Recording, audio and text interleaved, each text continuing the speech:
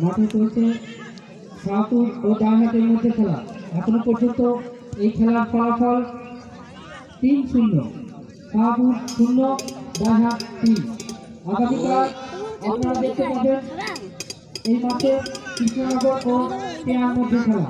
খেলা হবে বৈকাল তিনটা সময়